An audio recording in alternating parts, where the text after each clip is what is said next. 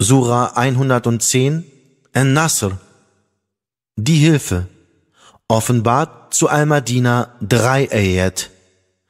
Im Namen Allahs, des Allerbarmers, des Barmherzigen. Wenn die Hilfe Allahs kommt und der Sieg, und du die Menschen zur Religion Allahs in Scharen übertreten siehst, dann lobpreise deinen Herrn und bitte ihn um Vergebung er ist wahrlich der, der die Reue annimmt.